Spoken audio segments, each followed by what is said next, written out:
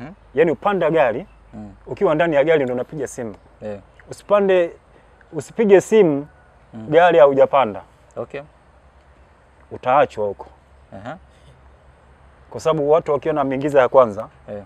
amna Mm.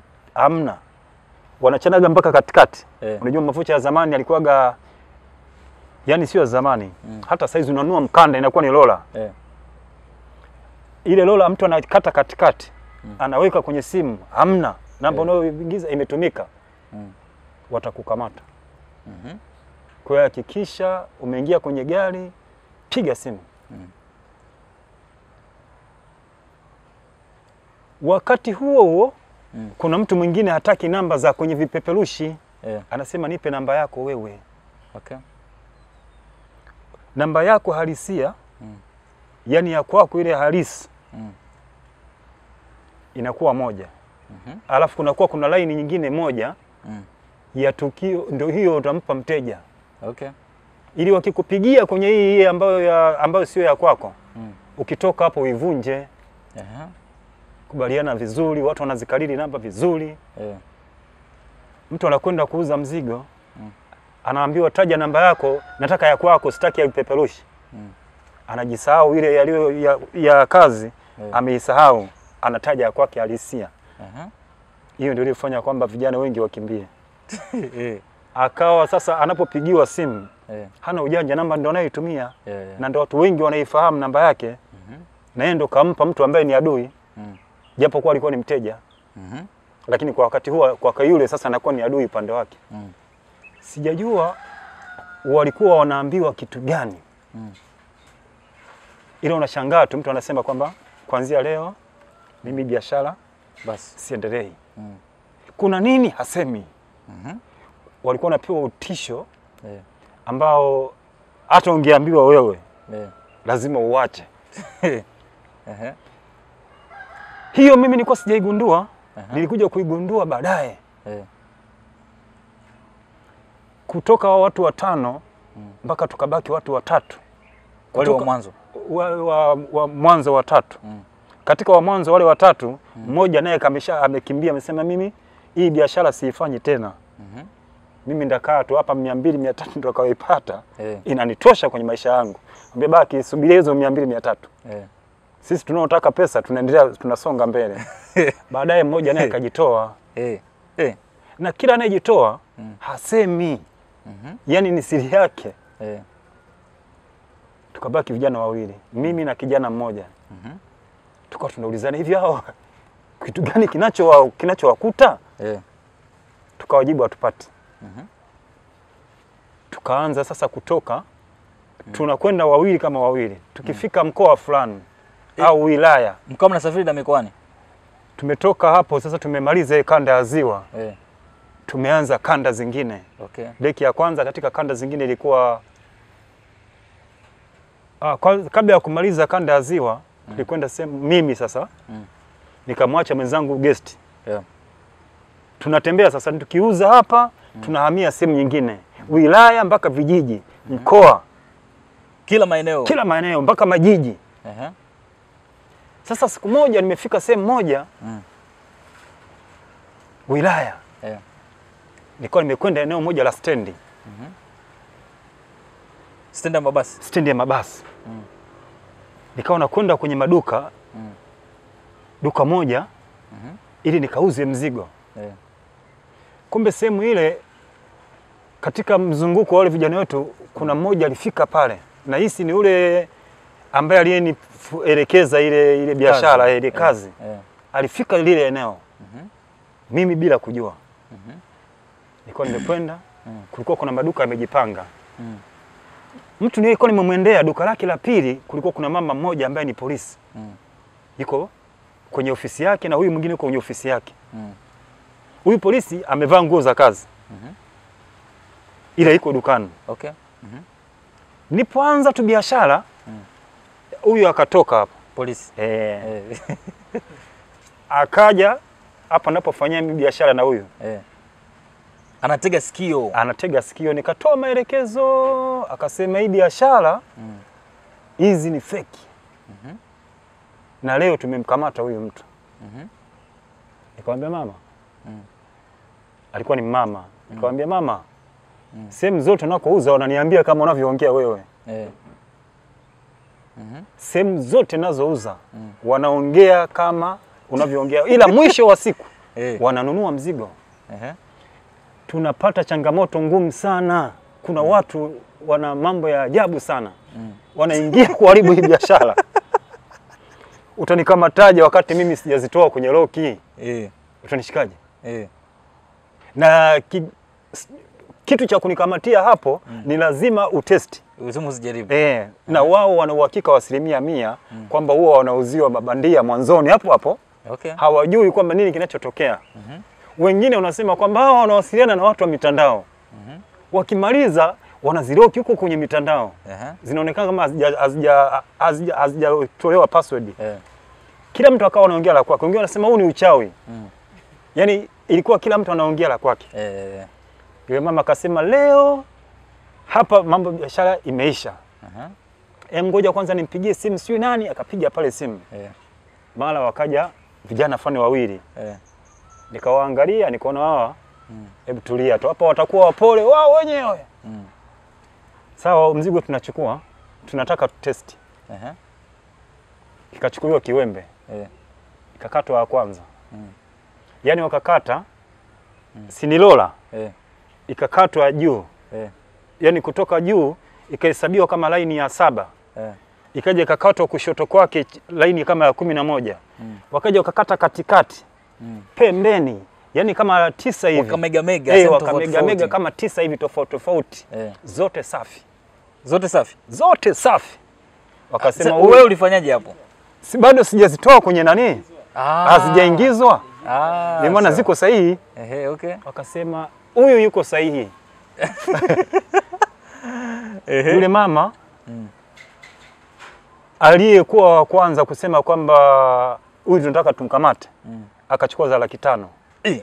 Mwenzie ambayo ndio nilipokuwa nimekwenda akachukua laki tatu, Laki mzigo laki, laki nane. uh -huh. Nilikuwa na milioni kama na milioni mbili kasoro hivi, Eh. kwa hiyo nikauzauza nikamaliza pa. Mm. Nikampigia simu na tena nimepiga simu Mm. sio niko kwenye gari, Eh. napiga simu natembea, Mm. namwambia wewe maliza hizi zote.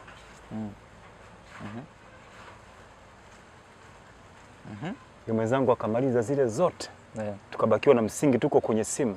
Mm. Nikamwambia sasa ziko kwenye simu, Mm. rushia kwenye laini nyingine. Mm. Zikarushwa kwenye laini nyingine, mm -hmm. pesa zote zikarushwa kwenye laini nyingine, hamisha tena Mm. hii laini ikavunjwa, Yeah. hamisha tena kutoka kwenye laini tuliporushia hapa, mm. rushia laini nyingine, Eh. Nayo tukaivunja. Tukasema hii sasa, hii ina usalama, Eh. yaani hata wakiingia kwenye utaratibu gani Hawezi kuiona. hawawezi kuziona yeye, kwa sababu imeingia hapa, imetoka hapa, imeingia hapa. Mm. Biashara ikawa imeisha uh -huh. Tukatoka pale safari, Mm. tuna balance ya pesa nyingi tu ambayo Mm. ya zile tunazoziuza Kina, kina mama pale na maana mliwauzia feki pia. Wewe uliwauzia feki. waliuzi- walinunua feki, Eh. yaani wamenunua original, ukiondoka zinakuwa feki. Ah, okay. Eh, unanunua original Eh. ila mtu akiondoka fake. Eh.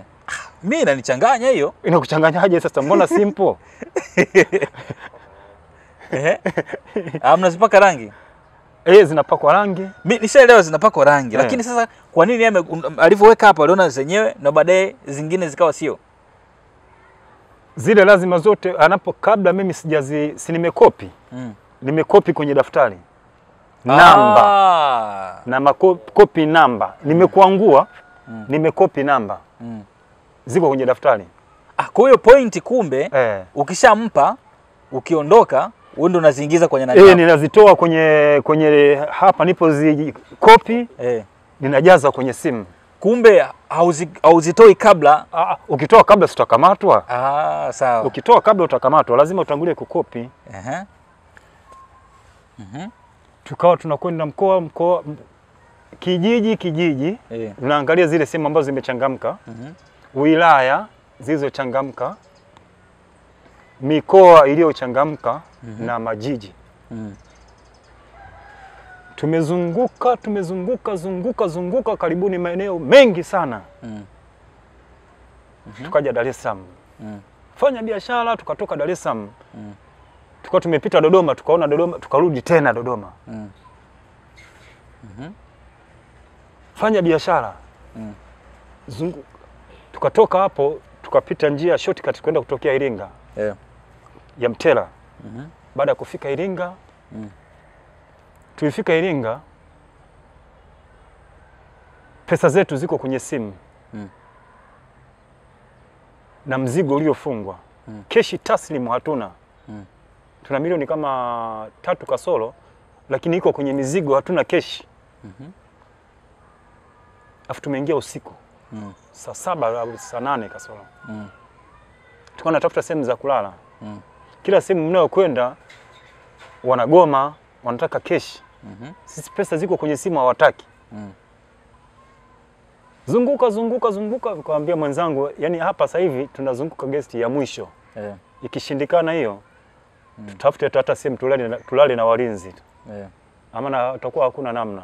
Yeah. Ah, kwa bahati nzuri ile ya mwisho tunasema ya mwisho tukapata Mm. sehemu ya kulala. Baada ya kumwelekeza ule mhudumu Mm. akashika simu moja Mm. tukapata hifadhi Okay. pale, ndio tukawa tukawa pale tukaanza kufanya biashara. Mm. Kutoka hapo tukatoka pale tukaenda Songea. Mm. Wakati tunakwenda lengo letu tunaenda Songea Mm. lakini tukaishia nani, tukaishia sehemu yetu na Njombe. Songea hatukufika eh. Okay, okay, okay. Tukarudi Mm. kwamba twende hiki hii barabara inayokwenda Mbeya Mhm. twende mpaka Sumbawanga na sehemu zingine zote. Tukitoka kule ndio twende Songea ili tunapotoka Songea Mm. tuanze safari ya kurudi, Okay. tutakuwa tumeshakusanya pesa ya kutosha. Yeah. Sawa sawa, tukakubaliana, tuko wawili Mm. moja kwa moja mpaka Mbeya. Mbeya mimi nikawa customer care. mm -hmm. Baada ya kutoka Mwanza na kuzunguka nchi nzima, sehemu mikoa mingi sana kwa nchi yetu ya Tanzania, tukaingia mkoa wa Mbeya, nikiwa mimi na rafiki yangu huyo ambaye anaitwa Yusufu. Tulikuwa mbaki watu wawili tu katika kundi la uuzaji wa vocha feki, tumebaki watu wawili. Wengine walikuwa wanapungua, lakini na tulikuwa tujui kwamba kwa nini wanaacha, na walikuwa ile kazi ilikuwa ina pesa nyingi lakini mtu anaacha ghafla tu na hasemi kwamba tatizo ni nini. Tulishindwa kuelewa. Basi baada ya kushindwa kujua kwamba kwa nini wanaacha, mimi na ndugu yangu tukawa tumefika mkoa wa Mbeya. Baada ya kufika mkoa wa Mbeya, tulifikia gesti moja Mbeya mjini, tukaanza hiyo ule utaratibu wetu wa kuzunguka wilayani, vijijini, lakini ndani ya kuzunguka hizo sehemu mi nilikuwa kama ni customer care, kwa sababu ile kazi lazima muwe watu wawili, Mmoja anatoka mmoja atoke. e, mmoja anatoka mmoja atoki, kwamba anapokuwa ameuza ule mzigo anamjulisha mwenzie kwamba mimi nimemaliza, kwa hiyo zitoe kwenye mfumo wa yale mlipokuwa mmekopi kuziingiza kwenye simu. Kipindi hicho kulikuwa hakuna M-Pesa, sijui Tigo Pesa, Airtel Money, Halo, Halo Pesa, vilikuwa hakuna, huo mfumo ulikuwa hakuna. Hivyo basi unapohitaji salio nje na vocha, ni lazima urushiwe salio kama salio, unaurushiwa salio kama salio kwa gharama ile ile. Basi katika ile mizunguko, siku moja tulikuwa tumetoka mimi na huyo kijana huyo kijana ambaye nilikuwa naye sasa, tulikuwa tumekwenda kijiji fulani mkoa huo wa Mbeya, lakini. Tulikuwa tumefanya biashara tumerudi, na mkoa wa Mbeya ulikuwa ndio tuko mwishoni, kwamba tukimaliza huu mkoa wa Mbeya, yani tukimaliza Mbeya, kwa sababu Sumbawanga huko tulikuwa tumeshamaliza, tukimaliza Mbeya inabaki katika nchi nzima ni sehemu moja tu ambayo ilikuwa ni hii mikoa ya kusini e, ilikuwa tujafika, yani Songea, Ruvuma, yani Luvu, Mtwara, ile yote ni, ni, ni kanda ya kusini ambayo tukitoka pale tunaenda kule kumalizia ndani ya nchi nzima. Basi tupozunguka ile mikoa hivyo vijijini, siku moja mwenzangu akawa ameniaga, anasema kwamba yeye alikuwa anapenda sana kuzunguka kwa sababu mimi Mbeya ni nyumbani. E, Mbeya mimi ni nyumbani. Kwa hiyo alikuwa anapenda sana yeye kutoka ata, atambue na miji miji au anafahamu na sehemu jinsi zilivyo. Kwangu mimi haikuwa sikuwa mgeni kwa sababu mimi ni nyumbani. Basi nilikuwa nimemwachia yeye ndo akawa mtu wa kuzunguka. Siku moja akawa ametoka asubuhi, tumefunga mzigo usiku, asubuhi ametoka amekwenda mji moja Kyela, akawa amefanya kosa moja alipokuwa anafanya biashara, kwa sababu lazima muwe mna laini za ziada. Laini zile za ziada ambayo mteja akikuomba namba yako ya simu lazima umpe laini ya ambayo wewe huitumii. Ile, laini ambayo huitumii unapotoka nyumbani lazima wewe umeikopi, yaani lazima wewe umeika, eh, umeikariri na inakuwa kwenye simu. Simu sinakuwa na laini mbili, inakuwa kwenye simu, lakini usitoe ya kwako, maana atakupata atapokuwa anakupigia. Ikawa bahati mbaya, huyo kijana siku hiyo ile laini akawa hakuikopi kutoa laini, kutoa namba nyingine, japo alikuwa na vipeperushi. Yule mzee aliponunua zile vocha akamwambia, si vipeperushi sawa, umenipa lakini ninaomba namba yako ya simu. Ile namba ya simu kwenye simu ilikuwepo, lakini alikuwa hajaikariri, ikawa hakuna namna, ikabidi atoe namba yake ya halisia ambao anayoitumia kila siku e, ambao anayoitumia akajijutia pale, kwa sababu alikuwa ameshafanya kosa kwa sababu unapotoa namba yako tayari umeshafanya kosa. Akampa ile namba. Baada ya kutoa ile namba, wakawa wamefanya biashara. Alimuuzia mzigo kwa mzigo mkubwa sana.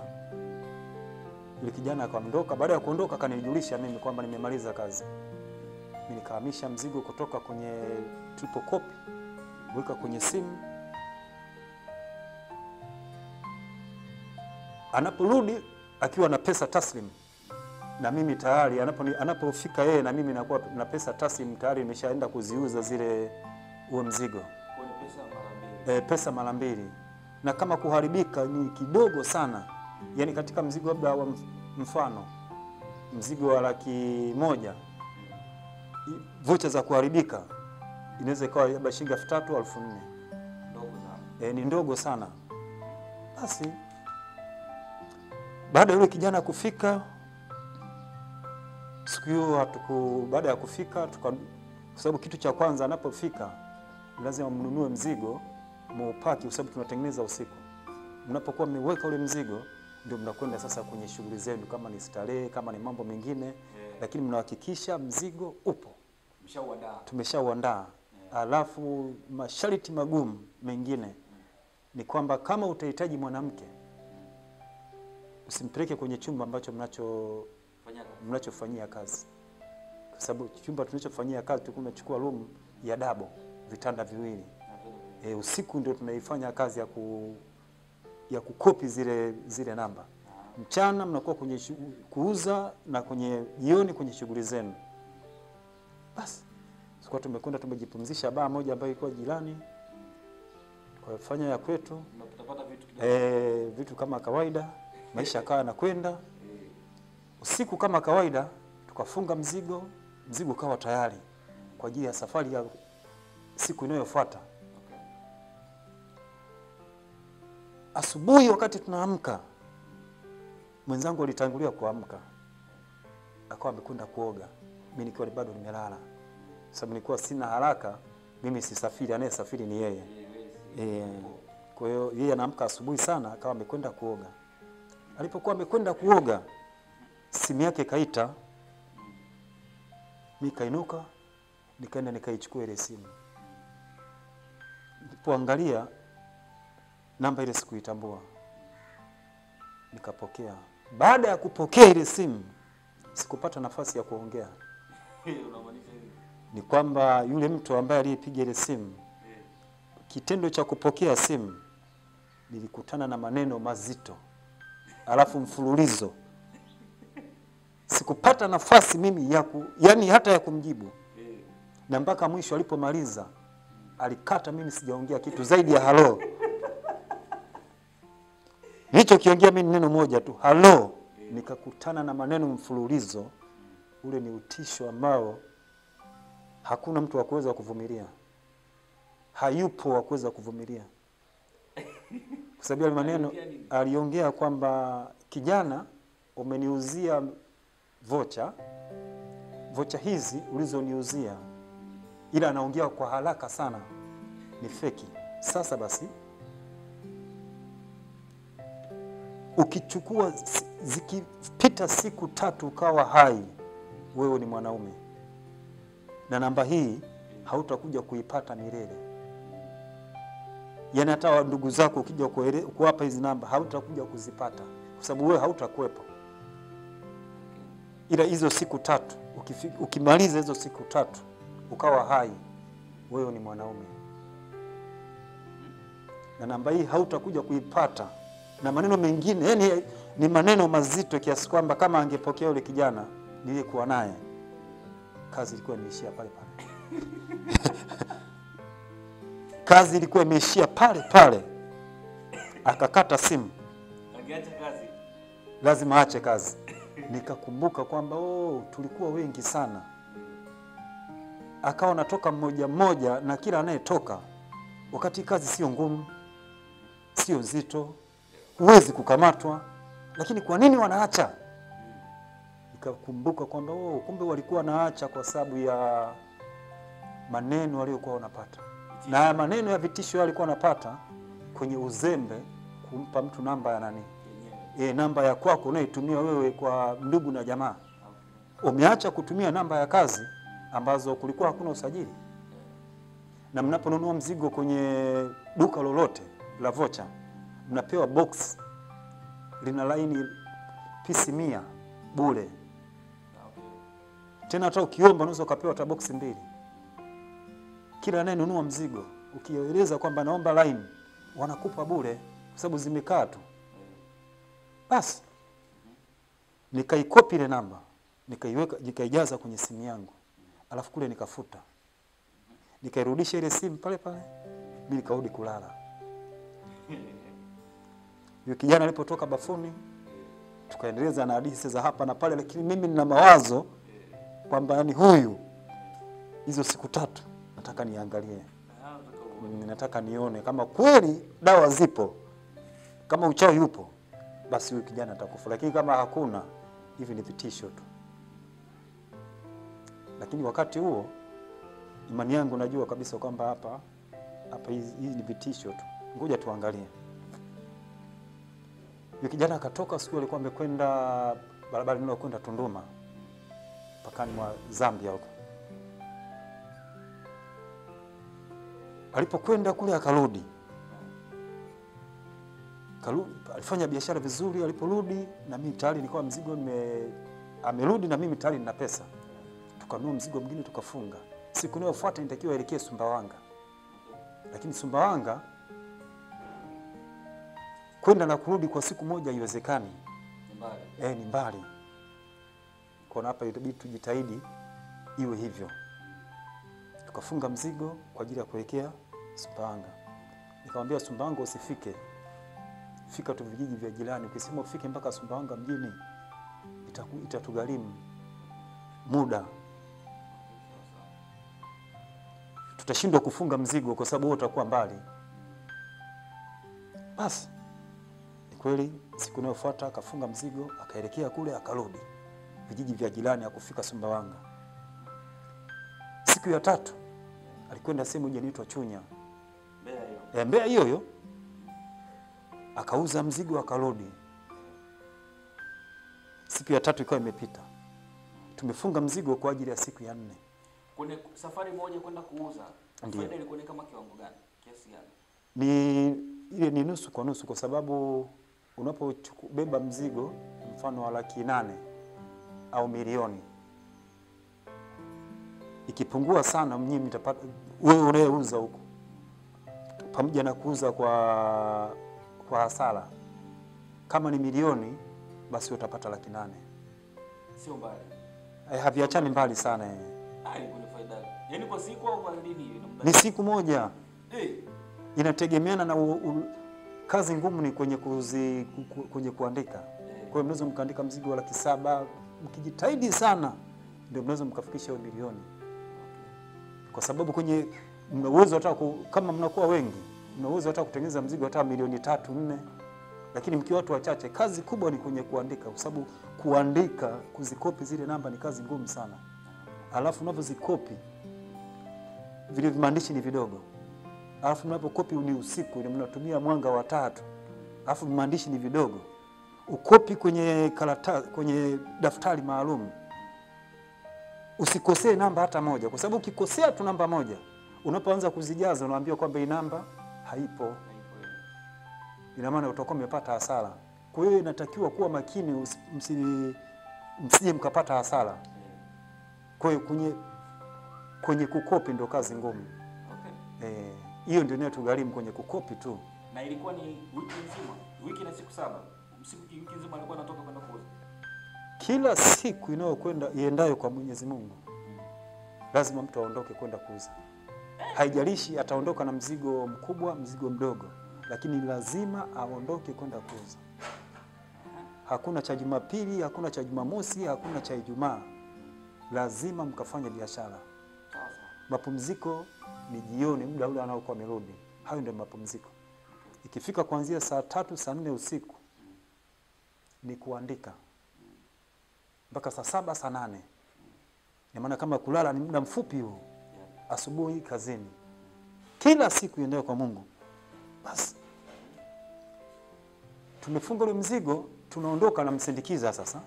Tena siku alisema eh, vipi leo, mbona unanisindikiza? akijua kwamba mimi nina lengo gani, kwamba mimi nataka kumpigia simu yule mtu ambaye alisema ukifikisha siku tatu, siku tatu zimeisha. Tukiwa tunatembea siku moja, bado sijamweleza chochote, tunatembea tunamsindikiza stendi, mimi nikapiga ile simu kwa kutumia namba yangu Ah, ah. Eh, nikapiga simu ikaita. Alipopokea tu simu inaonekana alikuwa ni mzee wa umri kidogo uliokwenda, kwa sababu ya sauti yake nilipomsikia, inaonekana umri kidogo eh, umesogea, mtu wa miaka kuanzia hamsini na kuendelea. Na mimi sikumpa nafasi ya yeye kuongea, nilimshambulia na maneno mz... mbona sijafa mimi, nimekuuzia mzigo haufai na sijafa. Alikata simu. Alipokata simu, nikapiga mara ya pili, simu ikawa haipatikani. Mwenzangu akashtuka, akashtuka kwa sababu ya alisema hiyo namba inaishia namba ngapi? Nikamwambia inaishia na tisini na saba.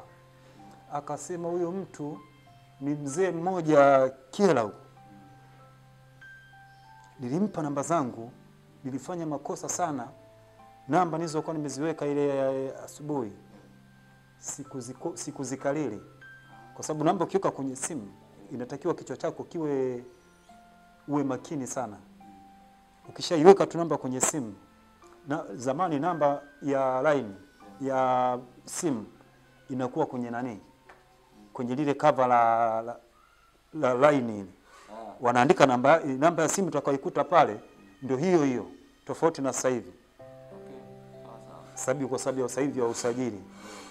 Zamani namba utakayoikuta kwenye kile ki- ki- ki, ki- ki- ki- kikava ndio hiyo hiyo inatakiwa uikariri, unaiangalia haba hata mara mbili mara tatu, ukariri kichwani, Kae. ikae kichwani yeye, maana ndio, ndio si ndio kitu ambacho kinatuingizia pesa.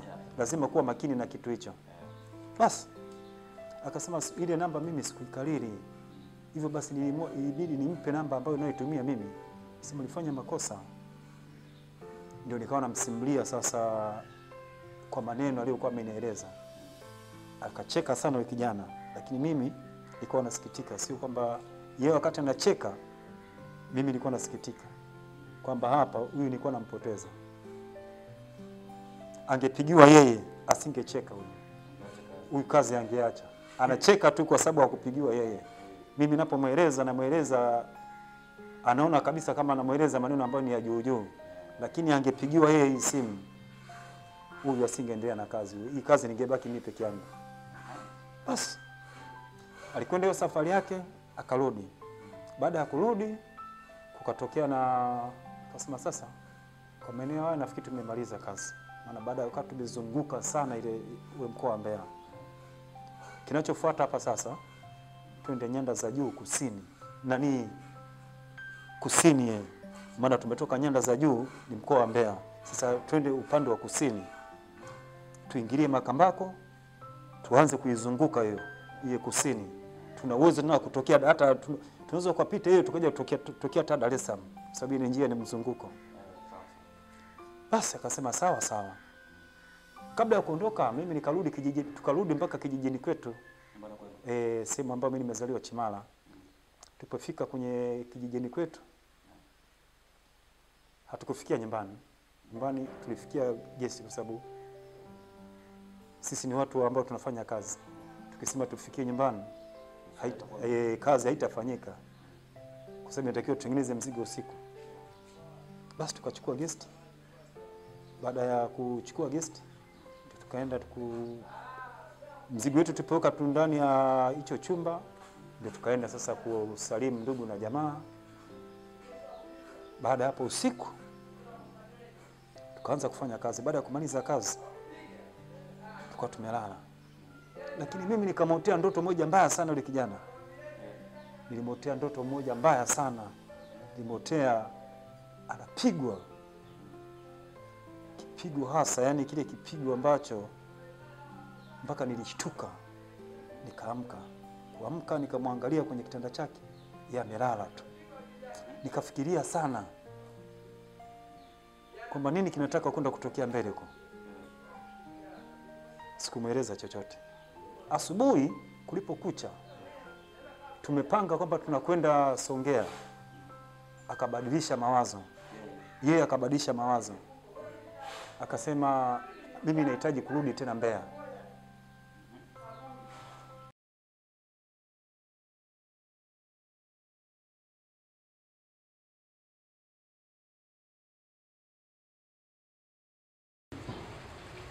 Habari, na imani uko salama, uko mzima. Nimekuja hapa kukushukuru uh, kwa namna ambavyo umekuwa ukifuatilia kazi zangu, ukifuatilia uh, mkasa huu, shuhuda hii, simulizi hii pamoja na, shu, na shuhuda zingine zilizopita pia na shuhuda zingine ambazo zinakuja ambazo ni kali zaidi, na muda si mrefu zitakuja vitu vingine vikali zaidi kama ambavyo umejua. Nikisema vitu vikali uh, namaanisha ni zile shuhuda nzito, uh, mikasa mizito ambayo mtu ame experience ambayo sio ya kawaida. Kwa hiyo zinakuja hizo pia, lakini leo nimekuja kukukumbusha, kukuweka sawa, kukupa habari juu ya application ya Davista Mata. Iko tayari, iko Play Store kwa wale watumiaji wa Android, lakini kwa wale watumiaji wa, wa iPhone uh, wao wataweza kuingia kupitia website na website ni www.davistamata.com so ukifika wakati nitawatangazia tu, lakini siku si nyingi, masaa machache kutoka sasa hivi. Kwa nimekuja hapa kukwambia, kukukumbusha download ile application ya Davista Mata ambayo iko uh, Play Store. Kwa wewe mtumiaji wa simu za Android tayari iko, kwa hiyo download download hii application, kwa sababu hata hii huu mkasa ambao unaendelea sasa hivi wa Lighton Mtafya nenyewe utahamia kule, kwa hiyo utakuwepo kule muda si mrefu, masaa tu machache kutoka sasa muda si mrefu. Kwa download uwe nayo tayari, na ni vizuri pia ukaanza kufanya malipo, kwa maana ukiingia kule, sababu kuna namna ya ku, unalipia na gharama ni nafuu, kama ambavyo nilisema, ni unalipa kwa miezi sita, unalipa elfu kumi elfu kumi ni kwa miezi sita. Yani ukishalipa elfu kumi yako hautachajiwa tena kiasi kingine, utaweza kuangalia stori zote zitakazokuwepo katika hiyo application uh, zote ambazo zitakuwa zingine maki zingine zitakuwa zinaanzia huko koni elfu kumi gharama ni nafuu kwa miezi sita na imani iko ndani ya uwezo wako uh, lakini unaweza ukalipia kwa mwaka. Kwa mwaka ni elfu ishirini. Lakini kuna wale wengine pombe watajisikia kulipia zaidi. Pengine wanaguswa na kitu ambacho nakifanya kazi ni kubwa labda ime, imewasaidia kwa namna moja au nyingine. Wanaona hata elfu kumi ishirini kwao ni ndogo kwao ziko option tatu. Option ya kwanza ni kulipa elfu kumi miezi sita. Option ya pili ni elfu ishirini malipo ya mwaka. Afu ukishuka chini option ya tatu ni unatoa kile ambacho unajisikia wewe. Ukiamua utoe dola laki moja uh, elfu hamsini laki moja ngapi, ni wewe utakavyoweza, lakini nimekuja tu hapa nikwambie kwamba download hii application katika Play Store iwe tayari, kwa sababu hata hii story ya Mtafya na yenyewe pia itahamia huko muda sio mrefu. Kwa hiyo download iwe nayo tayari ili uweze kufurahia pia na tuweze kujifunza, tuendelee kupata elimu ambayo tumekuwa tukiipata kwa muda mrefu na tutaendelea kuipata kupitia hapa. Nikushukuru sana, asante sana na Mungu akubariki sana.